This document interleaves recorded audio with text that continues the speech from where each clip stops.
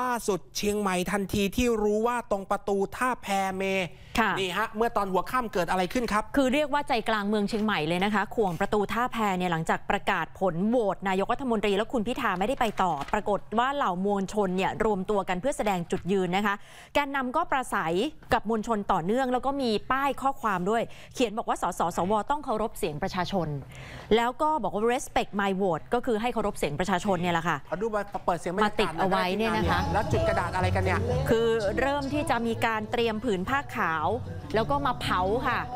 คือเห็นบอกว่าผ้าขาวขนาดเอ่อเขียนข้อความบอกมีข้อความรายชื่อสสสวที่โหวตไม่เห็นด้วยโอ้ยแล้วก็เขียนลงไปในผืนผ้า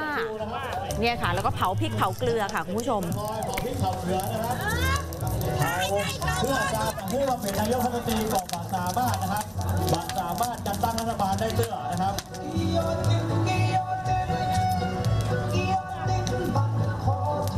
อันนี้ก็คือมีการเผาอะไรเผาเผาพริกเผาเกลือ ใช่ เพราะว่าป้ายผ้าเนี่ยไปเขียนชื่อสสสวที่ไม่โหวตให้คุณพิธายค่ะ แล้วก็เอาเผาพริกเอานี่เกลือเอาพริกไปแล้วก็เผาเนี่ยเขากลุ่มแกนนำยังได้กล่าวตอนทิ้งท้ายด้วยนะครับ ว่าจะชุมนุมกันอยู่ตรงนี้ต่อไปเพื่อรอดูสถานการณ์ในกรุงเทพ และช่วงนี้จะได้มีการเปิดพื้นที่ให้พลังมวลชนได้ออกมาพูดคุยแสดงความคิดความเห็น และเห็นบอกว่าช่วงท้ายของการชุมนุมก็เลยมีการเผาพริกเผาเกลือ พร้อมกับป้ายรายชื่อของสวที่โหวตไม่เห็นด้วย แล้วก็ตะโกนสาบแช่งนี่เห็นไหมฮะนี่